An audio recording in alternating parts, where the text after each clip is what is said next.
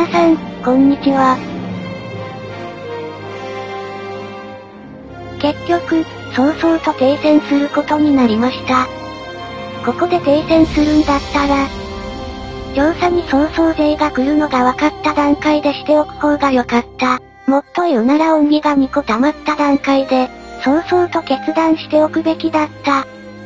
これはうまくいかなかったフラグではなく、コメントで何回か見たそうそうそうそうと言いたかっただけです。しかし、うまく停戦はできたのですが、どっちみちやるなら早めにやるに越したことはなかった。早々と優勝の攻撃を華麗にしのいで領土を広げていく自分。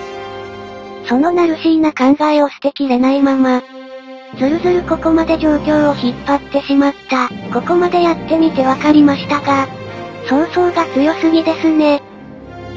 こちらの国力が全く足りていません。ですので、優勝勢を撃退しつつ、慶州南部を攻略した後、早々と駅州攻略に向かうとします。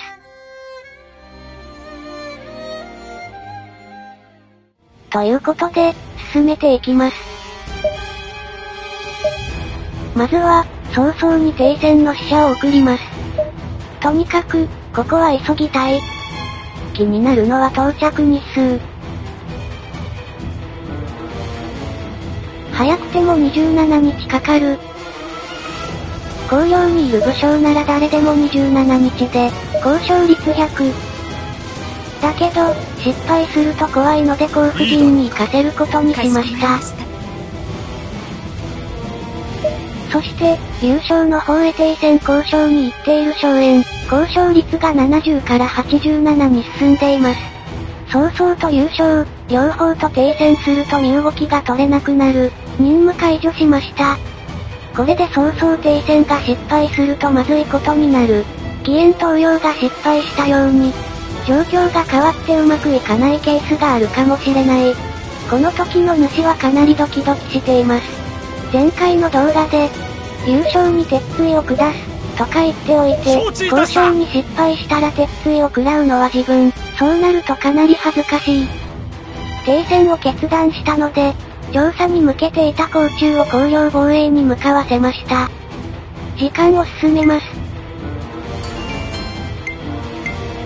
またもや、早々からの交渉。助手さんかな動画が分かれてるから分かりにくいけど、数日前に引き渡した捕虜とは一緒に帰らなくてよかったのここに滞在でもしてたのかな来るのが早すぎですよ。さて、これで早々への恩義が4になりました。停戦が2回できる。停戦できる期間がどれくらいか、それによってどこまで領土を広げられるかが決まる。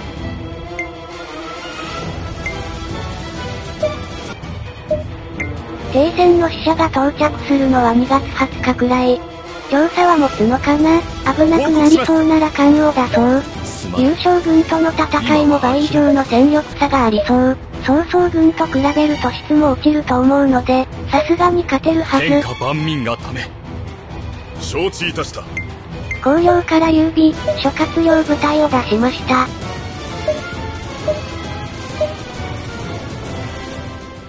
第三次工業の戦い。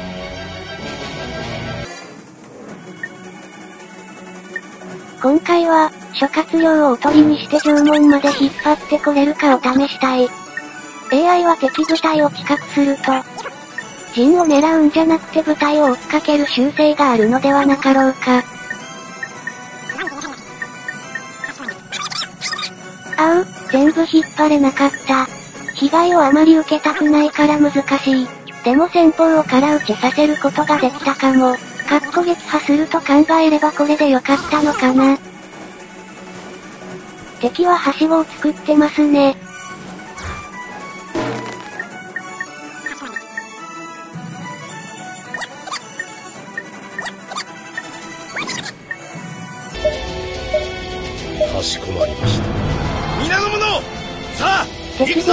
万はあったようですね。さらに距離はあるけど一部隊約2万も来てる。調査への攻撃が始まりました。予定ではあともう少しで停戦時期だから放置。来たかこれはすごい、2年も期間がある。3ヶ月か半年か、そんな風に考えていたけど、早々への尺音儀というのが3、仮ということですね。今後どう影響するのか。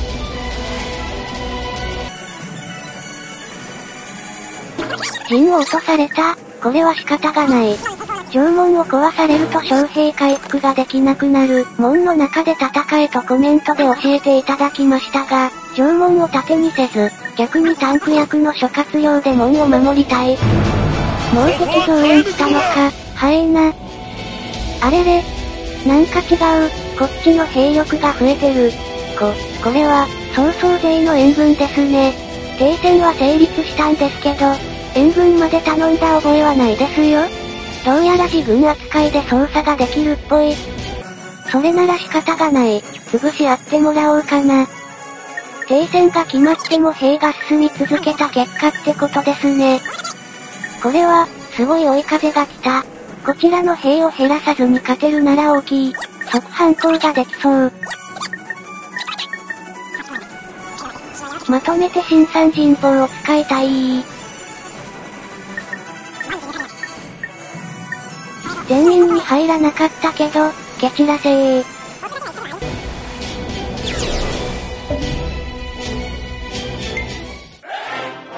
こで強運が霊量を攻略。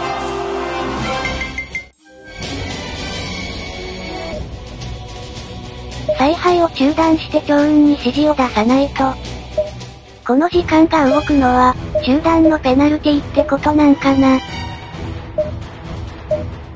関運長がぶ、お見せいたす。承知しました。調査から関を出して強運と共に軽量攻略を狙わせる。さらに調子は紅葉に向かわせます。状況が変わったので、防衛のためではなく、優勝の領地をカウンターで狙うための出陣。采配に戻ってきました。敵の部隊、結構な数がなぜか本陣に戻ってます。それならこの孤立した少数の部隊を倒しちゃおう。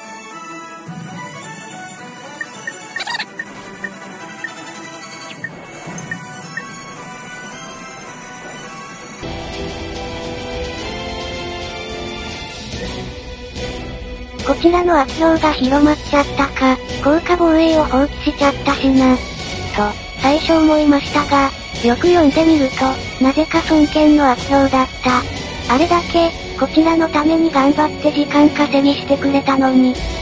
両党も撃たれてたし。色々と気の毒になってくる。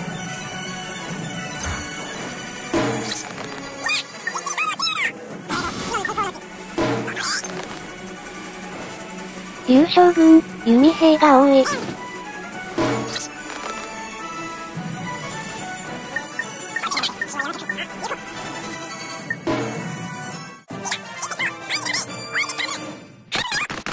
なかったのに参戦するにしちゃった。勝利って出たけど、負けてるじゃん。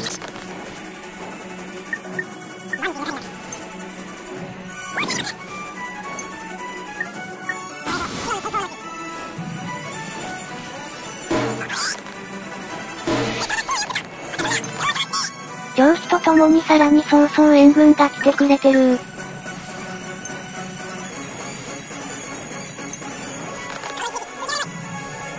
どんだけ技法にかかってるの？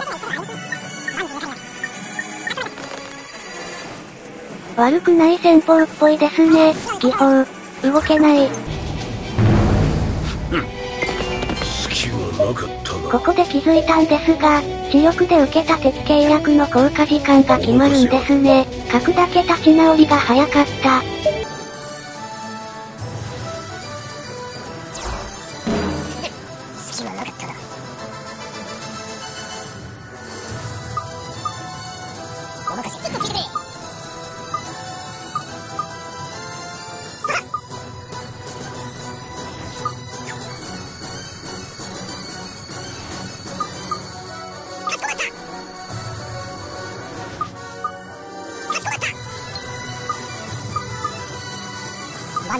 ちょっと減らしちゃった。回復させよう。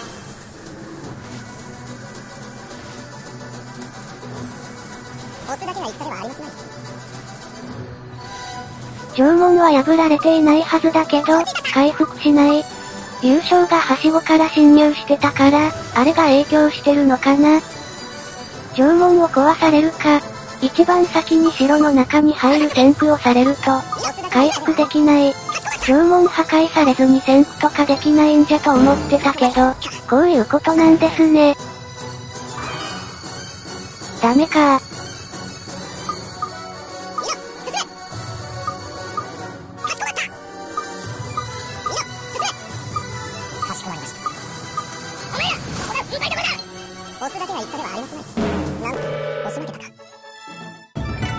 これで優勝軍がほぼ壊滅したからカウンターを狙えるだろうか。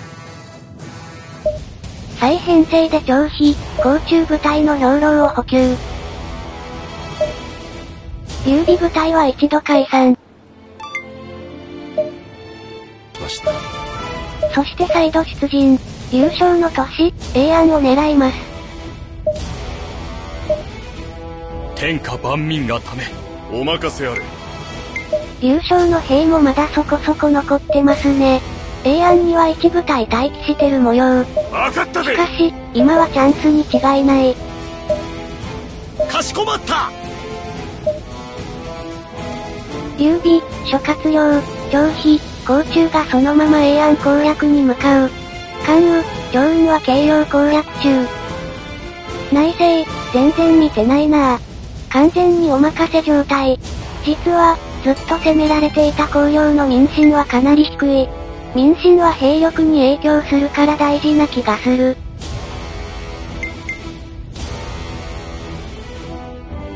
戦いに入る前に内省しておこうかな。瞬殺させて民心を上げよう。工業の民心は1000分の104。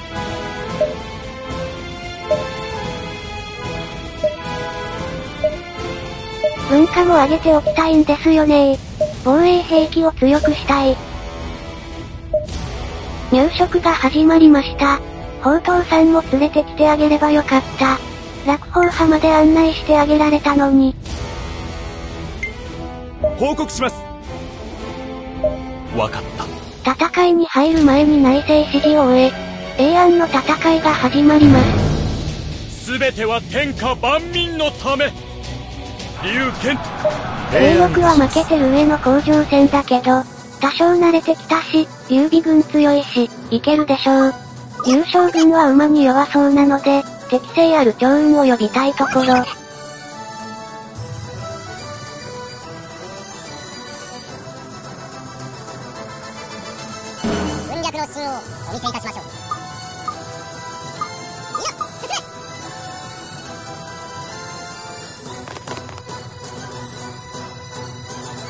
提案がある門を狙う予定。左側に敵を誘導できないかと。この陣を攻撃してるんだけど、そこまで効果なかったっぽい。配下の提案を完遂して士気を上げるべく、目標の門に向かう。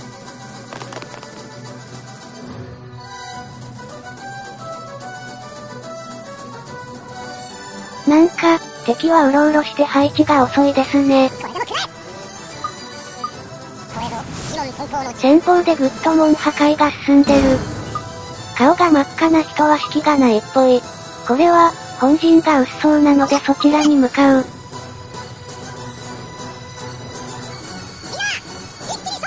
強運を補給させるの忘れてた。兵糧が尽きたっぽい。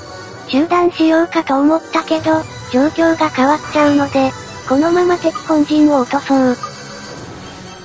相手も本陣を狙ってますね。いいぞ。よし。3、4千ほどの損害で3万3千の敵兵を倒した形。劉備軍、強い。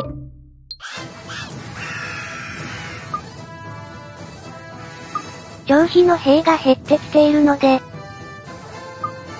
張飛をこの永安勤務にさせ部隊を解散させます。そうすると、移動時間なく A 案に入るので、兵回復次第すぐ長飛を使える。長雲は顔真っ赤ですね。ごめんなさい、すぐ解散させますね。軽量も耐久半分切ったし、関羽だけに任そう。霊量、結構な兵を持ってますね。ここに長雲を移動させ、すぐさま使いたい。今まで気にしてなかったけど、任務をしてない人を使おう。相性的に長雲には期待してる。ようやく最大式兵力まで使えるようになった。嬉しい。長雲2万2000を A 案に送ってそこで補給させよう。細かく部隊を分けた方がいいというコメントもいただきましたが、どうしても、がっつり兵を持たせたお気に入りの武将だけでやりたくなる。再分配で A 案に兵糧を集めました。兵糧を補給し、すぐさま次の目標に向かう。優勝、許すまじ。兵の回復する間を与えることなく攻めたい。A 案にはすでに6000ほどの兵がある、長飛部隊も出陣させます。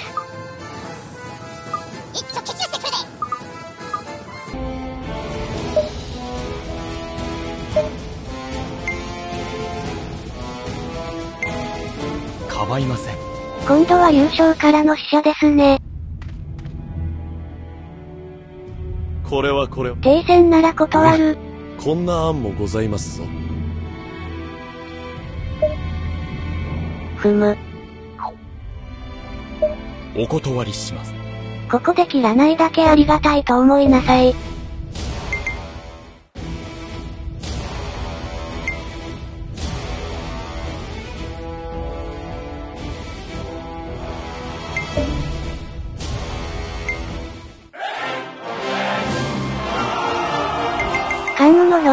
尽きて一瞬焦りましたが軽量を攻略。